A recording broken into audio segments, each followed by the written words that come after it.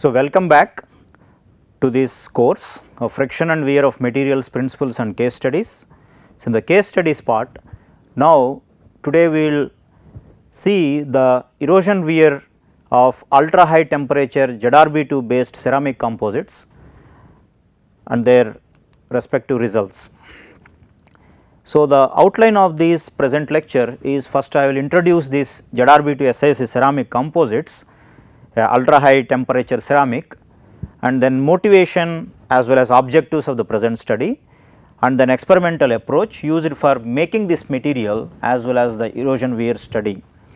And mainly we will discuss the powder characteristics, the microstructures of the sintered composites, mechanical properties, erosion rate and the dominant mechanisms of material removal.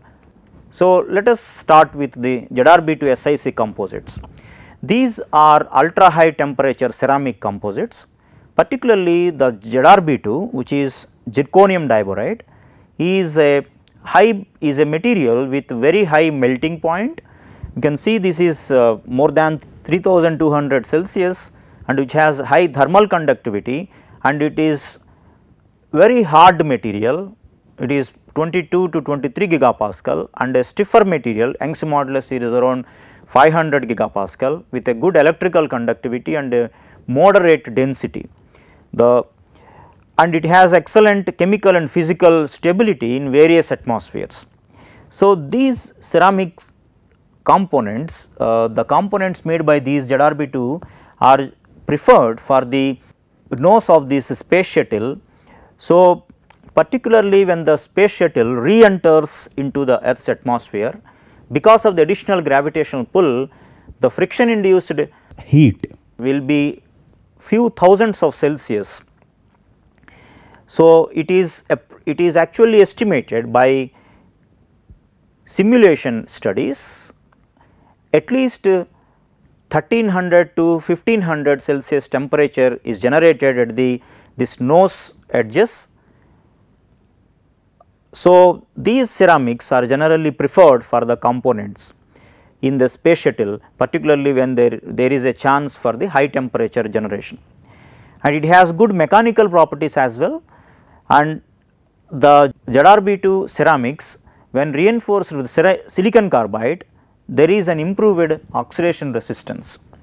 And also the strength also improves so, typically from 300 to 500 MPa to 800 to 1000 MPa with the addition of silicon carbide in a ZRB2 matrix.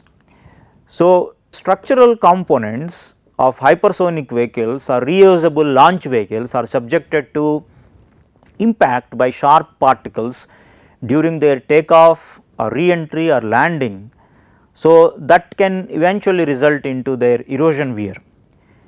Also these composites can be used as wear parts or cutting tool inserts, dies in metal forming or tools in electrical discharge machining. So, so that indicates actually these composites are to be understood for their tribological behavior. While all published works on these composites are focused mainly on the processing or by on, on the oxidation resistance of this material, but tribological characterization is very very rarely reported. So, with this motivation with this motivation we try to understand the wear behavior in erosion conditions with the change in the silicon carbide composites. So, the particularly the influence of the microstructure by changing the composition and the mechanical properties again by change in composition on the erosion wear behavior of these composites is of our interest. So, this is one uh, study which shows some scratch resistance for these composites, uh, but no other important studies were done on their wear properties. So, objectives of the present study are to prepare the dense composites of ZRB2 with 10, 20 or 30 volume percent silicon carbide by spark plasma sintering. To study the microstructure and estimate the hardness and indentation fracture toughness of the sintered composites to estimate the erosion wear behavior of the composites by particle erosion at high temperatures and to elucidate the dominant mechanisms of material removal in those selected erosion wear conditions. So, first the fabrication of these composites was done by spark plasma sintering. The powders of this zirconium diboride and the silicon carbide they were mixed in ball mill with toluene and tungsten carbide balls and then spark plasma sintered spark plasma sintered and followed by the erosion. The initial powder characteristics show that the silicon carbide is around 400 to 600 nanometers in average size whereas ZRB2 is in 2 to 4 micrometers average size and their, their chemical characteristics also show there is no much Im impurity. So, after mixing these ZRB2 SiC composite they show uniform distribution, uniform distribution. So, with this uniformly distributed particles we went to spark plasma sintering. Spark plasma sintering was done at 55 megapascals with a 200 degree Celsius per minute heating rate with a two stage sintering procedure 1400 Celsius for 6 minutes followed by 1600 for 2 minutes and these these sintering cycle was selected from the previous reports. So, all these composites with 10, 20 and 30 percent silicon carbide containing ZRB2 composites after sintering they showed a decent relative density 98 percent. The microstructure of the sintered composites they show the ZRB2 and then this is silicon carbide right. So, the silicon carbide so with increase in the silicon carbide content the bonding between the ZRB2 and the silicon carbide also seems to be increased right. So, you can see very strong bonding of these uh, with the increase in the silicon carbide content. Also the line analysis show there is a ZRB2 and then the silicon carbide. So, you can see the ZRB2 and silicon carbide distribute uh, in the microstructure. The X-ray diffraction analysis of the sintered composite show no other phase after mixing as well as after sintering. So, these are the initial powder XRD patterns of silicon carbide and ZRB2 where same ZRB2, ZRB2 SiC were found after milling. So, you can see ZRB2 and SiC. So, no much change even after the sintering. So, that means our sintering procedure was efficient to sinter these composites without producing any other phases and the mechanical properties were studied. So, this micro hardness uh, measured using a instrumented hardness measurement tester. The depth decreases with the increase in the silicon carbide content. So, the micro hardness also show there is an increase with the silicon carbide content from 18 to 23 gigapascal increase uh, hardness for the ceramics with 10 percent silicon carbide to 30 percent silicon carbide. The elastic modulus was also increased from 280 to 398 gigapascal and fracture toughness also increased from 4.2 to 5.3 MPa root meter. So, the fracture toughness improvement can also be understood by their increased crack bridging instances. So, that the transgranular fracture the crack propagates through the grain and then crack is deflected or bridged by these silicon carbide particles. So, we get an improvement in the fracture toughness. So, we use the erosion wear test setup where the silicon carbide powder used as a erodent which was mixed with the air and then the mixed and the mixture of this air and the particle allowed to erode the sample. and the sample can be tilted in a such a way that the erodent makes an angle with the surface of the sample. So, we studied this investigation at a fixed angle of 90 degree and a fixed temperature of 800 Celsius right. So, erosion test results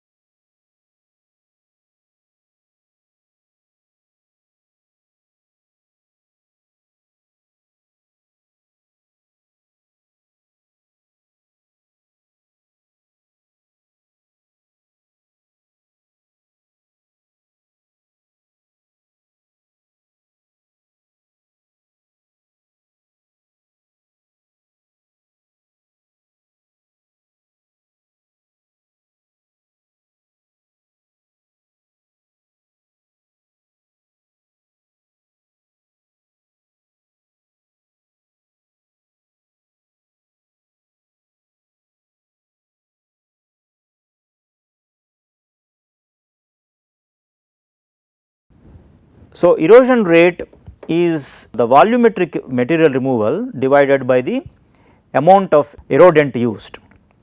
So, you can see there is a reduction in the erosion rate observed with the increase in the silicon carbide content.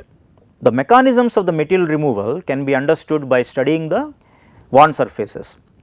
So, all these uh, uh, material, material removal occurred by this transgranular fracture and decohesion of the ZrB2 grains and then the pull out of these silicon carbide particles. You can see there is a grain fracture and then removal right and then there are small particles which are uh, silicon carbide particles they are pulled out.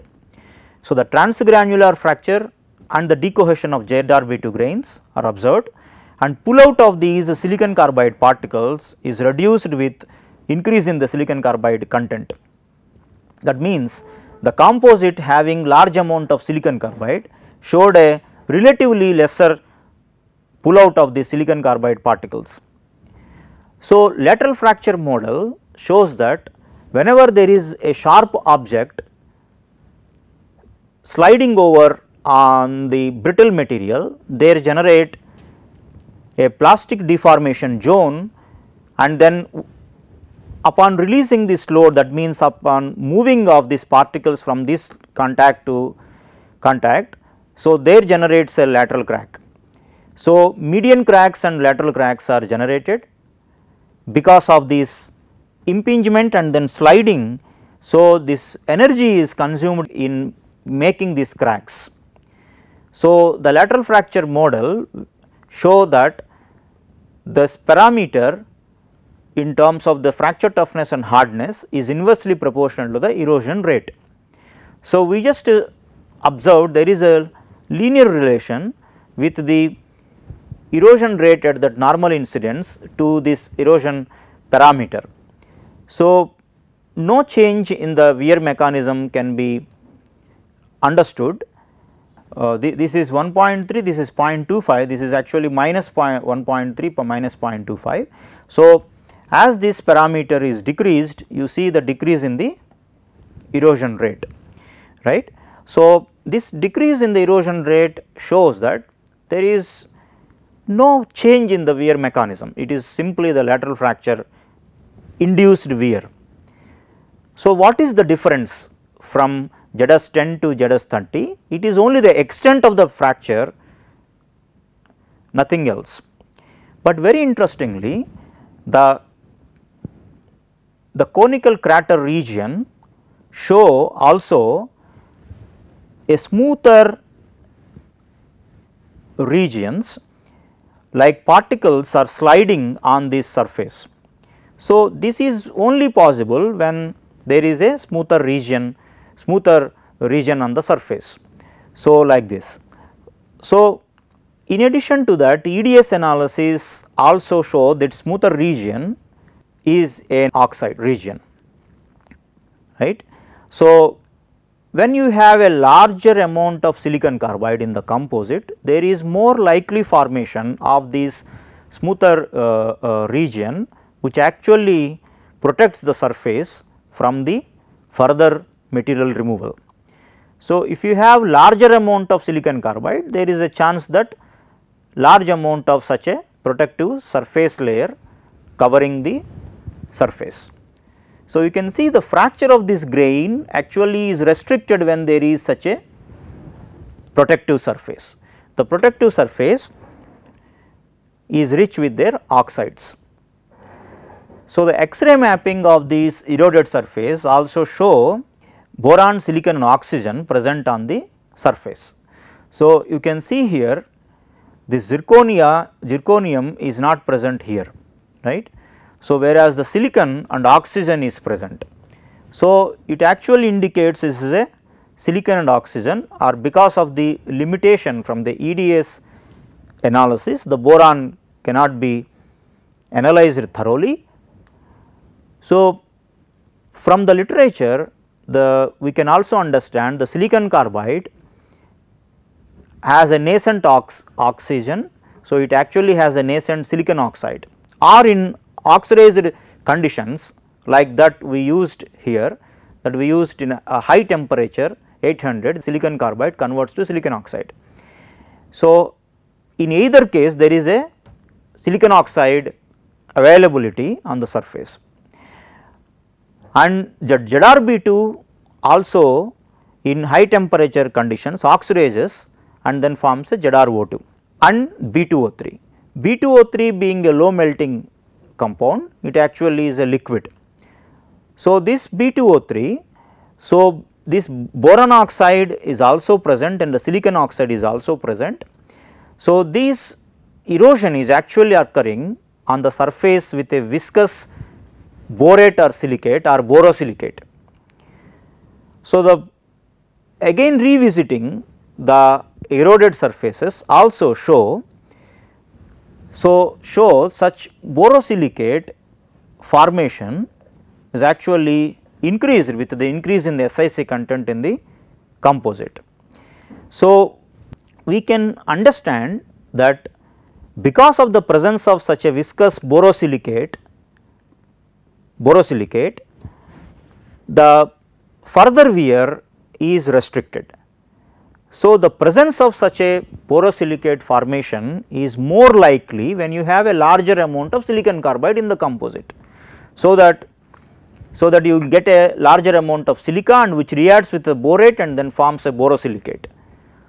So, with increase in silicon carbide content in the composite there is viscous borosilicate formation. So, we can see such a viscous phase is more available on the ZS30 than the ZS10. So, this is actually stopping further wear that means the when the surface is protected with such a layer the further wear is restricted. So, the conclusions from the present study are like the dense composites with ZrB2 and 10, 20, 30 volume percent silicon carbide were prepared by spark plasma sintering. The density was more than 98 percent. The microstructures consisting strongly bonded ZrB2 grains with silicon carbide particles found for that composite with a larger amount of silicon carbide in this present investigation there is ZrB2 with 30 percent silicon carbide.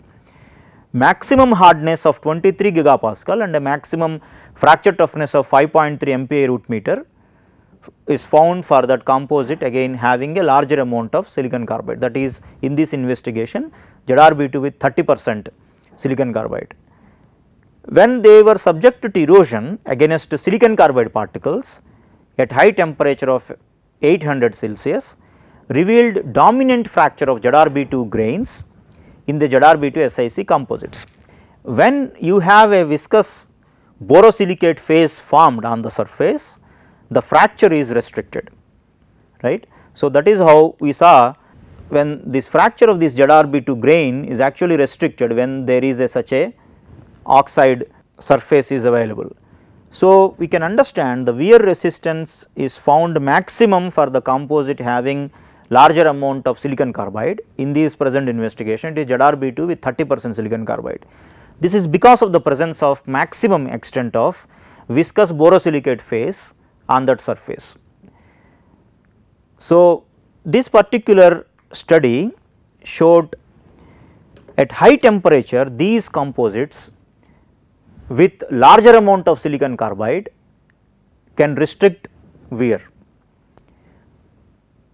So, ZrB2 SiC composites with larger amount of SiC content can be used for such a high temperature erosion wear conditions.